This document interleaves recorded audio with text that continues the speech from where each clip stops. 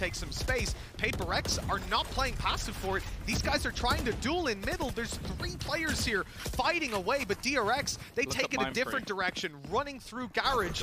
That is nasty, though. Mind Freak being pushed down here. The Rolling Thunder's completely avoided. In fact, the only person that connects on is Mako inside the ultimate. And look who's right That's behind them. Only the one to be found Oh, for no. Forsaken, but Jinggg here. A double, the dismiss. Oh. my. God. That's Oh my god, what this guy's insane! Closes out the game. Absolutely sensational.